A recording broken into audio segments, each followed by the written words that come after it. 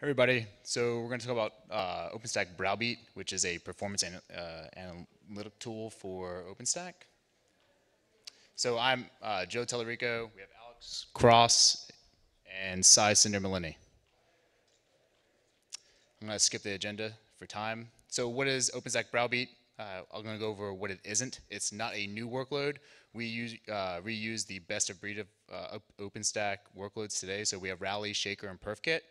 Um, we take metadata about your overcloud. Uh, we use TripleO as well. Um, we don't need to use TripleO. We can use other installers if somebody would help contribute that. But uh, we take metadata that describes your overcloud, combine it with result data, and ship that to Elasticsearch. That way you can compare your cloud's uh, performance. We also have uh, plugins for Collectd, Graphite, and Grafana, which we'll go into as well. So I'm going to talk a bit about the workloads we have. So Browbeat is essentially an orchestrator for the workloads too. So we have Rally, it does most of our API performance testing like boot instances, create a bunch of networks, routers, and as such. So for, uh, for the data plane, we have Shaker. We can do throughput, latency, request response, TCP, UDP, and all kinds of topologies. So Shaker is going to spawn all of that for you, and Browbeat is the one orchestrating it. And we also have Perfkit Benchmarker, which is a project open source by Google, and it has a bunch of workloads, 40 or odd workloads that can be pulled in easily, and they're already pulled into Browbeat, and you can just make use of a simple YAML-based config file to run whatever benchmarks you need. Thanks. So this is the Browbeat quick start. So you can get started in less than 10 steps here. So you basically git clone our repo from uh, GitHub, go into the Browbeat uh, Ansible folder, then there's a uh, shell script we ship that is going to generate the, uh, generate the host file for you. So you need the host file. You need to know what the undercloud is, what the controllers are, what the computes are, because some of our Ansible playbooks depend on that. And then you're just going to basically edit some of the group variables like your DNS and whether you want collectd on your nodes or not in the all.yaml. And then you just kick off the playbook to install Browbeat. And to set up the dashboards or the monitoring for live monitoring of your cloud, you basically just kick off two playbooks. That's one is to install collectd on all your nodes, and the other one is to ship uh, is to generate the dashboards and upload it to Grafana. And then you go into the performance testing. Once you have the monitoring set up, you basically just do a browbeat.py and either Rally, Shaker, or Perfkit and the workflow. So we also have some playbooks that have checks like the number of uh, number of file descriptors or max connections for MySQL. And as such, so you run the checks playbook, it'll it'll dump out a file of all the errors and you know things that you should be looking at and the bugs. You run our workloads. That is the stress test part of it. And all our results are shipped to Elasticsearch, and the Kibana is the front end to it. So you analyze all your results. So based on your analysis, you tune the cloud, and that's the workflow retest your cloud, analyze, and tune. Handing it over to Alex for this part. Yep. Hello. So I'm Alex Krzos. Um, I'm generally known as Mr. Dashboard because I like to put together all of the all of our graphs on Grafana. Um, so you probably heard Sai mention there's monitoring aspect to it. So we use Collectd as the agent that uh, we install on your overcloud nodes. We even install that on the undercloud. So your undercloud, your controllers, your compute nodes, and your Ceph storage nodes. And then if you have object node, if you have object storage nodes or block storage nodes, we you can install Collectd on that as well. It ships metrics over to Carbon and Graphite.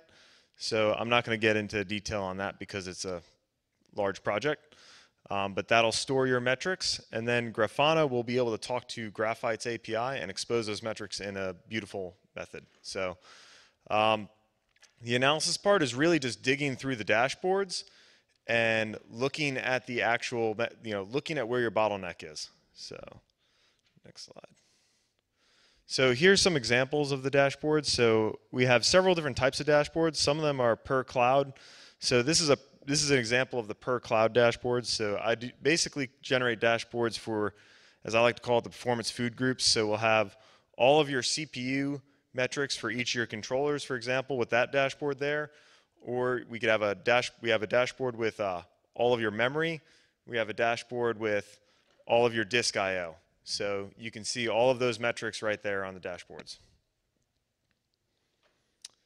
Um, if you don't find a very specific bottleneck there, let's say you didn't see Ceilometer Collector eat all your memory or something like that, or you didn't see um, whatever benchmark you run consume all the CPU you have, you might want to start digging in a little bit deeper. So we have a general analysis dashboard where you'd select what kind of what cloud you're you're looking at and what node you're trying to look at. And then there's all these these are all unexpanded tabs with uh, literally hundreds of graphs.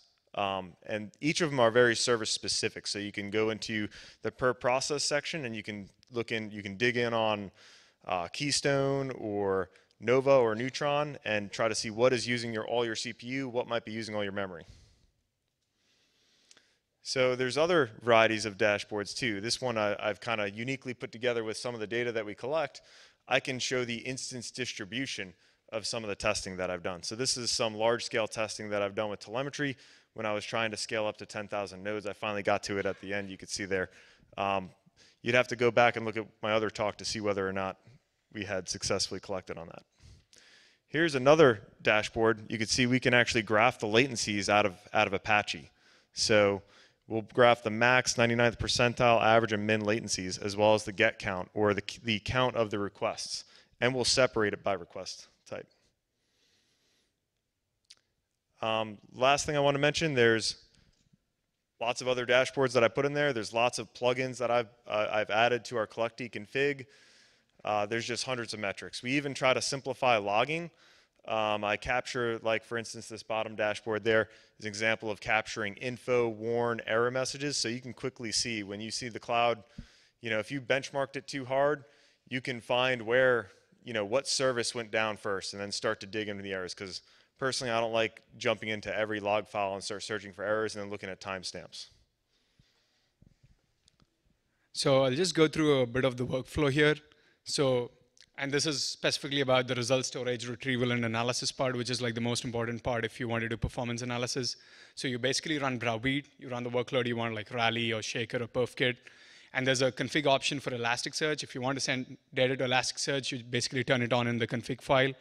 And what this does is it kicks off Ansible. Ansible goes into all of your nodes, controllers, computes, gathers system facts like kernel, you know, hardware, and along with that, it also gathers OpenStack specific parameters like how many Neutron workers you had, how many Nova workers you had, and stuff like that. So that is dumped as metadata, and you get result data from the benchmark. So what Browbeat does is uh, it munges the data, uh, it combines the metadata with the result data, and with our Elasticsearch connector, it ships it to Elasticsearch, and Kibana is the front end. So you'll be able to do all your slicing and dicing of data and visualizations through Kibana. So, so we talked briefly about metadata. I just want to highlight why metadata is important here, because it actually adds value to uh, the result data.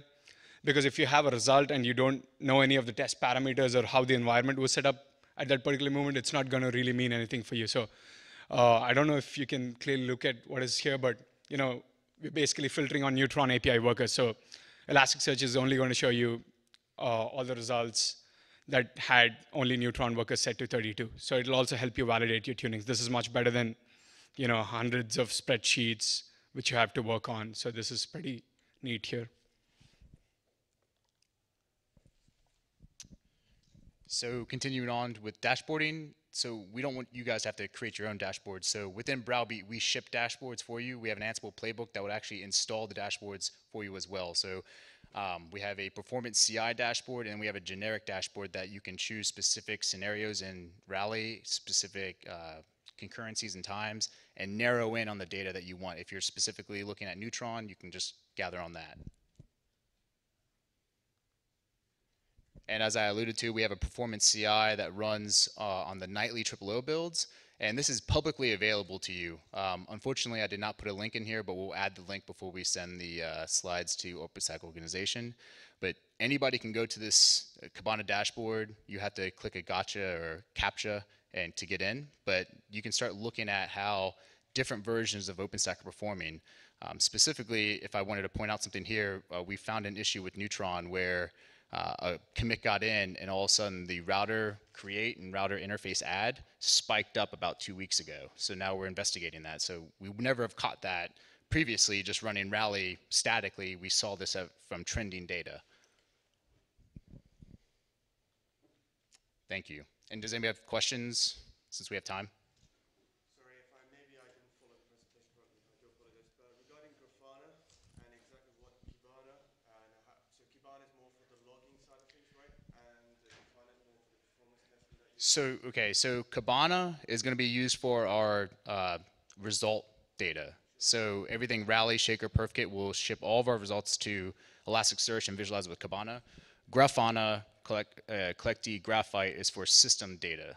So we're not using, Browbeat's not using today for logging data yet. Yeah, so to kind of, I guess, further clarify, um, we use Elasticsearch and Kibana really for result-driven data. That's the result data that we're getting out of Rally, Perfkit, Shaker, goes right into Elasticsearch, and we visualize with, with Kibana dashboards. Um, with the Grafana dashboards, we're visualizing the data that we're collecting with Collectd. Some of that data is just, you know, the majority of it is just system performance metrics. There is some application level metrics, like you saw I had uh, Apache response times in there, or request times.